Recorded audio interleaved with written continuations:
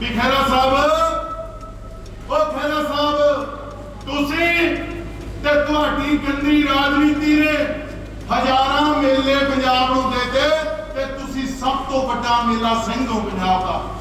ਸਭ ਤੋਂ ਵੱਡਾ ਵੀ ਤੈਨੂੰ ਬਾਹਰ ਰੋੜ ਕੇ ਲੈ ਕੇ ਆਏ ਨੇ, ਜਾਂ ਤੈਨੂੰ ਤੰਗ ਪਰੇਸ਼ਾਨ ਕਰਾ ਕੇ ਲੈ ਕੇ ਆਏ ਨੇ। ਮੈਂ ਖੈਰਾ ਸਾਹਿਬ ਤੇ ਬਾਜਵਾ ਸਾਹਿਬ ਆਪਣੀ ਹਿੰਮਤ ਨਾਲ ਤਰਾਸ ਦੇ ਮਨੀਟਰ ਤੋਂ ਲੈ ਕੇ ਅੱਜ ਤੱਕ ਆਪਣੀ ਮਿਹਨਤ ਦੇ ਸਦਕਾ ਤੇ ਆਪਣੀ ਹਿੱਕ ਦੇ ਜੋਰ ਸਦਕਾ ਇੱਥੇ ਤੱਕ ਪਹੁੰਚਿਆ। ਨਾ ਕਿ ਮੈਂ ਤੁਹਾਡੇ ਜਵਾਕਾਂ ਵਾਂਗੂ ਫਿਰ ਮੈਂ ਅੱਜ ਸਿਫਾਰਸ਼ਾਂ ਲਾ ਕੇ ਜਾਣਾ ਚਾਹਣਾ ਤੇ ਇਹਨਾਂ ਨੇ ਗੱਲ ਕਰੀ, ਮੇਰੇ ਪਿਤਾ ਦੀ, ਕਿ ਉਹ ਛੋਟੀ ਨੌਕਰੀ ਕਰਦਾ ਸੀ, ਕਿ ਛੋਟੀ ਨੌਕਰੀ ਕਰਨ ਵਾਲੇ ਆਪਣੇ ਟੱਬਰ ਨੂੰ ਬਾਤ ਪੋਸ ਨਹੀਂ ਸਕਦੇ। ਅੱਜ ਖੜਾ ਮੈਂ, ਉਹਨਾਂ ਦੇ ਦਿੱਤੀ ਹੋਈ ਸਿੱਖਿਆ ਦੇ ਮੁਤਾਬਿਕ ਕਦੇ ਮੇਰੇ ਬਾਪ ਨਾਲ ਰਾਜਨੀਤਿਕ ਮਸਲੇ ਤੇ ਗੱਲ ਕਰਕੇ ਜਦ ਨੂੰ ਤੁਸੀਂ ਭੀੜੀ ਪੰਜਾਬੀ ਚੜਾਉਣੇ ਹੋ ਨਾ ਅਸੀਂ 10 ਪਿੰਡਾਂ ਦੇ ਲੋਕਾਂ ਨੂੰ ਮਿਲਾਉਣੇ ਹੁੰਦੇ ਆ। ਮੈਂ ਖੈਰ ਸਭ ਤੋਂ ਪੁੱਛਣਾ ਚਾਹਣਾ ਵੀ ਤੈਨੂੰ 1.5 3% ਵੋਟ ਪਈ ਸੀ ਬਠਿੰਡਿਓ ਤੂੰ ਕਹਿੰਦਾ ਸੀ ਗੋਲਡੀ ਕਾਬਲ ਨਹੀਂ। ਤੇ ਮੈਨੂੰ ਪਈ ਸੀ 11.5% ਤੇ ਰਿਕਾਰਡ ਕਢਾ ਕੇ ਦੇਖ ਲਈ। ਤੇ ਜਿੰਨੀ ਤੈਨੂੰ 3% ਪਈ ਸੀ ਨਾ, ਉਹਦੇ ਨਾਲੋਂ 1.5% ਨੋਟਾਂ ਨੂੰ ਵੋਟ ਪਾਤੀ ਸੀ ਲੋਕਾਂ ਨੇ, ਨੋਟਾਂ ਨੂੰ। ਚੌਥੀ ਪੰਜਵੀਂ ਪਾਰਟੀ ਹੈ ਤੇਰੀ। ਕਦੇ ਇੱਕ ਵੀ ਬੰਦੇ ਨਾਲ ਕਦੇ ਖੜ ਕੇ ਦੇਖਿਆ ਕਰੇ ਜ਼ਿੰਮੇਵਾਰੀ ਨਿਭਾਈ। ਤੇ ਸਰਪੰਚੋ, ਇੱਕ ਗੱਲ ਸੁਣ ਲਿਓ, ਤੁਸੀਂ ਮੈਨੂੰ ਸਾਰੇ ਜਾਣਦੇ ਹੋ। ਤੇ ਪੂਰੇ ਭਾਰਤ ਦੇ ਵਿੱਚ ਕੋਈ ਸੜਕ ਸੀ, ਟੋਲ ਪਲਾਜ਼ੇ ਦੇ ਬਰਾਬਰ ਕੋਈ ਗੱਡੀ ਸੀ। ਤਾਂ ਉਹ ਤੁਹਾਡੇ ਛੋਟੇ ਭਰਾ ਨੇ ਕੱਢੀ ਸੀ। ਤੇ ਆਪਣੀ ਸਰਕਾਰ ਨਾਲ ਮੱਥਾ ਲਾ ਕੇ ਕੱਢੀ ਸੀ। ਤੇ 5 ਸਾਲ ਲੜਾਈ ਲੜ ਕੇ ਕੱਢੀ ਸੀ। ਤੇ ਮੈਂ ਅੱਜ ਧੰਨਵਾਦ ਕਰਦਾ ਮੁੱਖ ਮੰਤਰੀ ਪੰਜਾਬ ਦਾ, ਜਿਨ੍ਹਾਂ ਨੇ ਤਕਰੀਬਨ 16 ਟੋਲ ਪਲਾਜ਼ੇ ਪੰਜਾਬ ਦੇ ਵਿੱਚ ਬੰਦ ਕਰੇ ਨੇ। ਤੇ ਤਕਰੀਬਨ 2 ਕਰੋੜ 215 ਕਰੋੜ ਦਾ ਜਿਹੜਾ ਪੰਜਾਬ ਦੇ ਲੋਕਾਂ ਉੱਤੇ ਵਿਧੀ ਬੋਧ ਸੀ, ਉਹ ਹਟਾਇਆ।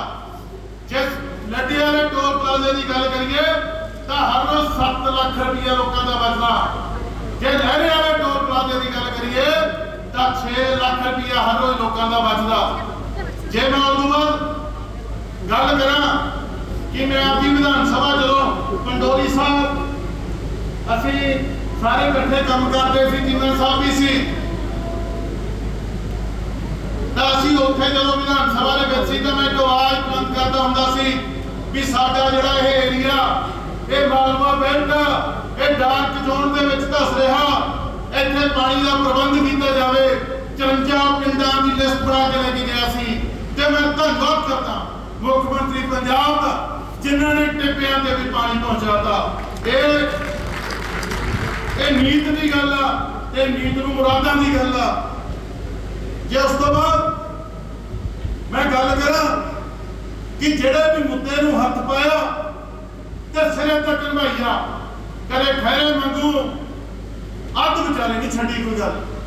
ਤੇ ਮੈਨੂੰ ਮਾਣ ਕਿ ਮੈਂ ਤੁਹਾਡਾ ਹਿੱਸਾ ਬਣਿਆ। ਇਹਨਾਂ ਦੀ ਰਜਵਾੜੇ ਸ਼ਾਹੀ, ਇਹਨਾਂ ਦੀਆਂ ਗੱਲਾਂ ਤੋਂ ਝਲਕਦੀਆਂ। ਤੁਸੀਂ ਨੇ ਦੇਖਿਆ ਕਿ ਕੋਈ ਕਹਿੰਦਾ ਅਰਬੀ ਘੋੜੇ, ਕੋਈ ਕਹਿੰਦਾ ਖੱਚਰਾ ਓਏ ਅਰਬੀ ਘੋੜੇ ਇਹ ਤਗੜੇ ਲੋਕਾਂ ਦੇ ਗਹਿਣੇ ਹੁੰਦੇ ਨੇ ਉਹਨਾਂ ਨੂੰ ਸਿਰਫ ਆਪਣੇ ਜਵਾਕਾਂ ਲਈ ਵਰਤ ਸਕਦੇ ਨੇ। ਪਰ ਜਿਹੜੀ ਖੱਚਰ ਹੁੰਦੀ ਹੈ ਨਾ, ਉਹ ਦਿਨ ਰਾਤ ਮਿਹਨਤ ਕਰਕੇ ਆਪਣੇ ਮਾਲਕ ਦੇ ਆਪਣੇ ਪਰਿਵਾਰ ਦਾ ਢਿੱਡ ਭਰਨ ਦੇ ਕੰਮ ਆਉਂਦੀ ਆ। ਤੇ ਮੈਨੂੰ ਇਹਦੇ ਕੋਈ ਸ਼ਰਮ ਵਾਲੀ ਗੱਲ ਨਹੀਂ ਜਾਪਦੀ।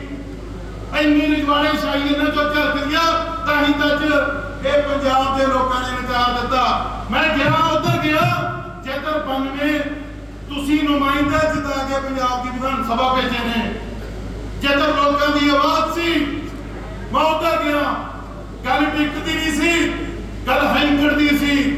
ਜਿਹੜਾ ਮੈਨੂੰ ਸਵਾਲ ਕਰਦਾ, ਮੈਂ ਉਦੋਂ ਪੁੱਛਣਾ ਚਾਹਣਾ ਵੀ ਖੈਰਾ ਸਾਹਿਬ, ਉਹ ਖੈਰਾ ਸਾਹਿਬ, ਤੁਸੀਂ ਤੇ ਤੁਹਾਡੀ ਗੰਦੀ ਰਾਜਨੀਤੀ ਨੇ ਹਜ਼ਾਰਾਂ ਮੇਲੇ ਪੰਜਾਬ ਨੂੰ ਦੇਤੇ ਤੇ ਤੁਸੀਂ ਸਭ ਤੋਂ ਵੱਡਾ ਮੇਲਾ ਸਿੰਘ ਹੋ ਪੰਜਾਬ ਦਾ। ਸਭ ਤੋਂ ਵੱਡਾ, ਜਿਨ੍ਹਾਂ ਨੂੰ ਧੀਆਂ ਭੈਣਾਂ ਦੀ ਇੱਜ਼ਤ ਨਹੀਂ ਕਰਨੀ ਆਉਂਦੀਆਂ ਸੰਗਰੂਰ ਦੇ ਚਾਰ ਨੂੰ ਚਲਾ ਜਾਣਾ। ਤੇ ਇੱਥੇ ਜਿੱਦਾਂ ਪੈਸਾ ਆਪਣੀਆਂ ਪੈਣਗੀਆਂ ਤੇ ਬਚ ਕੇ ਰਹੋ। ਇਹ ਜਿਹੜੇ ਲੋਕ ਨੇ, ਬੀਬੀ ਖਾਲੜਾ ਜੀ ਤੋਂ ਪੁੱਛ ਕੇ ਦੇਖਿਓ ਵੀ ਖੈਰੇ ਦਾ ਕੀ ਕਿਰਦਾਰ ਆ। ਕੈਪਟਨ ਅਮਰਿੰਦਰ ਸਾਹਿਬ ਜਦੋਂ ਇਹ ਛੱਡ ਕੇ ਗਿਆ, ਉਹਨਾਂ ਬਾਰੇ ਇਹ ਖੈਰਾ ਕੀ ਬੋਲਦਾ ਸੀ? ਤੇ ਰਾਜਾ ਪ੍ਰਿੰਗ ਬਾਰੇ ਖੈਰਾ ਸਾਹਿਬ ਕੀ ਬੋਲਦੇ ਸੀ? ਜਿਹਨੂੰ ਵੀ ਛੱਡਦੇ ਨੇ, ਇੰਨਾ ਭੰਡਦੇ ਨੇ। ਅੱਜ ਮੈਂ ਇੱਥੇ ਖੜਾ ਕਹਿ ਰਿਹਾ ਆ ਜਿੰਨੇ ਵੀ ਭੈਣ ਭਰਾ ਬੈਠੇ ਨੇ, ਜਿੰਨੇ ਸਟੇਜ ਤੇ ਬੈਠੇ ਨੇ, ਹਰੇਕ ਦੇ ਜੇ ਉਮਰ 'ਚ ਕੋਈ ਵੱਡਾ, ਤਾਂ ਮੈਂ ਪਾਰਟੀ ਨਹੀਂ ਦੇਖਦਾ, ਮੈਂ ਕੋਟੇ ਫਲਾਣਾ ਜੇ ਕੋਈ ਬਰਾਬਰ ਦਾ, ਤਾਂ ਮੈਂ ਛਾਤੀ ਨਾਲ ਲੈਣਾ। ਜੇ ਸਤਕਾਰ ਨਾ ਕਰਿਆ, ਜੇ ਪਿਆਰ ਨਾ ਕਰਿਆ, ਫਿਰ ਆਪਾਂ ਨੂੰ ਪੰਜਾਬ ਅੰਦਰਾ ਪੰਜਾਬ ਕੌਣ ਕਹੂਗਾ? ਸੋ ਜਿਹੜੀਆਂ ਨਫ਼ਰਤੀ ਤਕਰੀਰਾਂ ਨਾਲ ਆਪਾਂ ਨੂੰ ਤੰਗ ਪਰੇਸ਼ਾਨ ਕਰ ਰਹੇ ਨੇ। ਇਹਨਾਂ ਤੋਂ ਬਚਣ ਦੀ ਜ਼ਰੂਰਤ ਆ। ਤੇ ਇਹਨਾਂ ਦੇ ਨਾਲ ਇਹ ਕਹਿੰਦੇ ਵੀ ਤੈਨੂੰ ਬਾਹਰ ਰੋੜ ਕੇ ਲੈ ਕੇ ਆਏ ਨੇ, ਜਾਂ ਤੈਨੂੰ ਤੰਗ ਪਰੇਸ਼ਾਨ ਕਰਾ ਕੇ ਲੈ ਕੇ ਆਏ ਨੇ। ਮੈਂ ਖੈਰਾ ਸਾਹਿਬ ਤੇ ਬਾਜਵਾ ਸਾਹਿਬ ਆਪਣੀ ਹਿੰਮਤ ਨਾਲ ਤਰਾਸ ਦੇ ਮਨੀਟਰ ਤੋਂ ਲੈ ਕੇ ਅੱਜ ਤੱਕ ਆਪਣੀ ਮਿਹਨਤ ਦੇ ਸਦਕਾ ਤੇ ਆਪਣੀ ਹਿੱਕ ਦੇ ਜੋਰ ਸਦਕਾ ਇੱਥੇ ਤੱਕ ਪਹੁੰਚਿਆ। ਨਾ ਕਿ ਮੈਂ ਤੁਹਾਡੇ ਜਵਾਕਾਂ ਵਾਂਗੂ ਫਿਰ ਮੈਂ ਅੱਜ ਸਿਫਾਰਸ਼ਾਂ ਲਾ ਕੇ ਜਾਣਾ ਚਾਹਣਾ ਬਾਜਵਾ ਸਾਹਿਬ, ਯਾਦ ਆਉ ਦਿਨ ਜਦੋਂ ਮੈਨੂੰ ਬੁਲਾ ਕੇ ਇਹ ਕਿਹਾ ਸੀ ਵੀ ਮੇਰੇ ਮੁੰਡੇ ਨੂੰ ਕਿਸੇ ਪੰਜਾਬੀ ਫਿਲਮ ਚ ਰੋਲ ਦਿਵਾ ਦੇ ਤੇ ਅੱਜ ਤੂੰ ਤਾਂ ਅਰਬੀ ਘੋੜਾ, ਤੇਰਾ ਮੁੰਡਾ ਤਾਂ ਉਹ ਬਾਜਵਾ ਸਾਹਿਬ, ਤੁਹਾਡਾ ਮੁੰਡਾ ਅਰਬੀ ਘੋੜਾ ਤੇ ਇਧਰ ਖੱਚੇ ਦਾ ਜਿਹੜੀ ਮਰਜ਼ੀ ਸਟੇਜ ਤੇ ਖੜਾ ਲਿਓ ਜਿਹੜੇ ਮਰਜ਼ੀ ਪੇਚਾ ਪਾ ਦਿਓ, ਭੱਜਣਾ ਹੁਣ ਭੱਜ ਲਵੇ, ਭੁੱਲਣਾ ਹੋਵੇ, ਭੁੱਲ ਲਵੇ। ਰਾਜਨੀਤੀ ਦੀ ਗੱਲ ਕਰਨੀ ਹੋਵੇ, ਰਾਜਨੀਤੀ ਦੀ ਗੱਲ ਕਰ ਲਵੇ। ਇਹਨਾਂ ਨੇ ਗੱਲ ਕਰੀ ਮੇਰੇ ਪਿਤਾ ਦੀ, ਕਿ ਉਹ ਛੋਟੀ ਨੌਕਰੀ ਕਰਦਾ ਸੀ, ਕਿ ਛੋਟੀ ਨੌਕਰੀ ਕਰਨ ਵਾਲੇ ਆਪਣੇ ਟੱਬਰ ਨੂੰ ਬਾਹਰ ਪੋਸ ਨਹੀਂ ਸਕਦੇ। ਅੱਜ ਖੜਾ ਮੈਂ, ਉਹਨਾਂ ਦੇ ਦਿੱਤੀ ਹੋਈ ਸਿੱਖਿਆ ਦੇ ਮੁਤਾਬਿਕ ਇੱਥੇ ਖੜ ਕੇ ਬੋਲ ਰਿਹਾ ਕਿ ਬਾਜਵਾ ਸਾਹਿਬ ਤੁਹਾਡੀ ਉਮਰ ਵੱਡੀ ਆ ਮੇਰੇ ਪਿਤਾ ਜੀ ਏਮ ਰਿਟਾਇਰ ਨੇ ਐਫਸੀਆਈ ਚੋਂ। ਕਦੇ ਓਪਨ ਚੈਲੰਜ ਕਰਦਾ, ਕਦੇ ਮੇਰੇ ਬਾਪ ਨਾਲ ਰਾਜਨੀਤਿਕ ਮਸਲੇ ਤੇ ਗੱਲ ਕਰਕੇ ਦੇਖਿਓ। ਜਦ ਨੂੰ ਤੁਸੀਂ ਭੀੜੀ ਪਜਾਮੀ ਚੜਾਉਣੇ ਹੋ ਨਾ, ਅਸੀਂ 10 ਪਿੰਡਾਂ ਦੇ ਲੋਕਾਂ ਨੂੰ ਮਿਲੇ ਹੁੰਦੇ ਆ। ਅਸੀਂ ਮਿਹਨਤ ਕਰਨ ਵਾਲੇ ਬੰਦੇ ਆ। ਐਜੂਕੇਸ਼ਨ ਦੀ ਗੱਲ ਹੋਵੇ, ਸਿੱਖਿਆ ਦੀ, ਚਾਹੇ ਸਿਹਤ ਸੇਵਾਵਾਂ ਦੀ, ਚਾਹੇ ਟੈਲਾਂ ਦੇ ਪਹੁੰਚਾਉਣ ਵਾਲੇ ਪਾਣੀ ਦੀ ਚਾਹੇ ਬਿਜਲੀ ਦੀ ਗੱਲ ਹੋਵੇ ਮੁਫਤ ਦੀ। ਤੇ ਚਾਹੇ ਟੋਲ ਪਲਾਜ਼ਿਆਂ ਦੀ ਗੱਲ ਹੋਵੇ, ਮੈਂ ਸੋਚ ਨਾਲ ਆਇਆ। ਮੈਂ ਧੱਕੇ ਨਾਲ ਨਹੀਂ ਆਇਆ। ਮੈਂ ਸੋਚ ਤੇ ਪਹਿਰਾ ਦੇਵਾਂਗਾ ਤੇ ਮੈਨੂੰ ਮਾਣ ਜਿਹੜੇ ਬੰਦੇ ਦੇ ਮੈਂ ਉਲਟ ਲੜਿਆ ਇਲੈਕਸ਼ਨ ਉਹ ਬੰਦਾ ਮੈਨੂੰ ਛੋਟਾ ਭਰਾ ਬਣਾ ਕੇ ਆਪਦੇ ਨਾਲ ਇਸ ਪਾਰਟੀ ਦੇ ਵਿੱਚ ਲੈ ਕੇ ਆਇਆ। ਤੇ ਮੈਂ ਗੱਲ ਕਰਨੀ ਚਾਹਣਾ ਜਿੰਨੀਆਂ ਲੋਕਾਂ ਨੇ ਚੰਗਾ ਜਾਂ ਮਾੜਾ ਬੋਲਿਆ, ਮੈਂ ਪਰਮਾਤਮਾ ਅੱਗੇ ਹੱਥ ਜੋੜ ਕੇ ਇਹ ਅਰਦਾਸ ਕਰਦਾ ਕਿ ਸਭ ਨੂੰ ਚੜ੍ਹਦੀ ਕਲਾ ਤੇ ਰੱਖਿਓ ਪਰਮਾਤਮਾ, ਉਹਨਾਂ ਨੂੰ ਸਮਤ ਬਖਸ਼ਿਓ, ਉਹਨਾਂ ਦੇ ਘਰਾਂ ਦੇ ਉੱਤੇ ਮਿਹਰ ਭਰੇ ਹੱਥ ਰੱਖਿਓ, ਕਿਉਂਕਿ ਆਪਾਂ ਨੇ ਨਫ਼ਰਤ ਨਹੀਂ ਫੈਲਾਉਣੀ, ਆਪਾਂ ਨੇ ਭਾਈਚਾਰਕ ਸਾਂਝ ਪੈਦਾ ਕਰਨੀ ਆ, ਤੇ ਆਪਾਂ ਸਾਰਿਆਂ ਨੇ ਇਕੱਠੇ ਹੋ ਕੇ ਹਮਲਾ ਮਾਰ ਕੇ ਜਿਹੜਾ ਇਸ ਟਾਈਮ ਉਮੀਦਵਾਰ ਦੀ ਗੱਲ ਕਰ ਰਹੇ ਆ, ਮੇਰਾ ਭਰਾ ਅਮੀਤ ਹੈ, ਅਸੀਂ ਦੋਵੇਂ ਯੂਨੀਵਰਸਿਟੀ ਦੇ ਸਾਥੀ ਆ, ਚਾਹੇ ਰਾਜਨੀਤੀ ਸਾਡੇ ਆਪਸ ਦੇ ਵਿੱਚ ਵਖੇਵੇਂ ਸੀ, ਪਰ ਅਸੀਂ ਦੋਵਾਂ ਨੇ ਇਕੱਠਿਆਂ ਨੇ ਹਮੇਸ਼ਾ ਪਹਿਲੇ ਦਿਨ ਤੋਂ ਮਿਹਨਤ ਕਰਕੇ ਉਰੇ ਤੱਕ ਪਹੁੰਚਿਆ।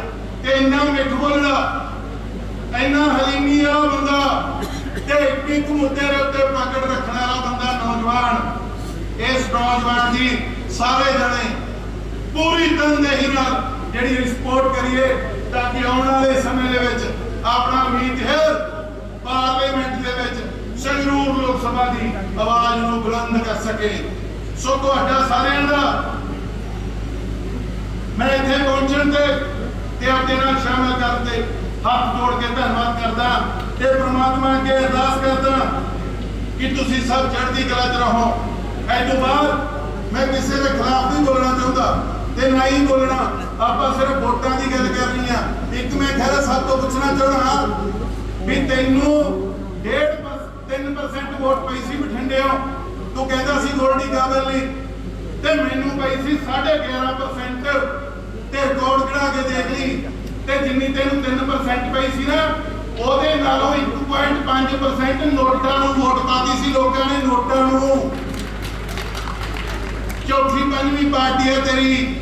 ਕਦੇ ਇੱਕ ਵੀ ਬੰਦੇ ਨਾਲ ਕਦੇ ਖੜ ਕੇ ਦੇਖਿਆ। ਕਦੇ ਜ਼ਿੰਮੇਵਾਰੀ ਨਿਭਾਈ। ਤੇ ਸਰਪੰਚੋ